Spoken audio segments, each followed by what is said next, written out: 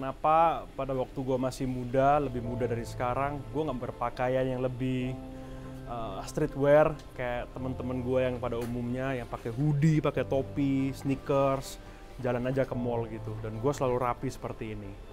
Tapi gue gak nyesel sih.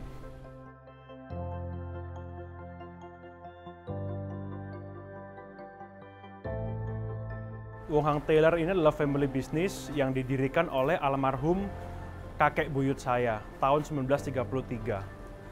Dan sekarang Wong Hang ini sudah memiliki lebih dari 15 cabang di Jakarta, Surabaya, Bandung, Semarang, dan Singapura.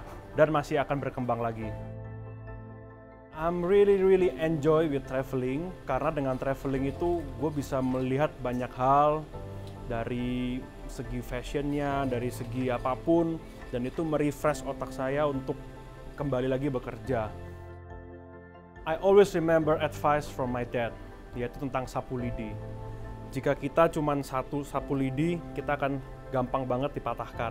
Tapi kita kalau uh, sekumpulan sapu lidi, kita pasti akan susah untuk dipatahkan. Itu yang membuat keluarga kami, keluarga besar kami selalu kompak dan bersatu. Bagaimana ya biar semua orang itu bisa berpakaian rapi dan benar.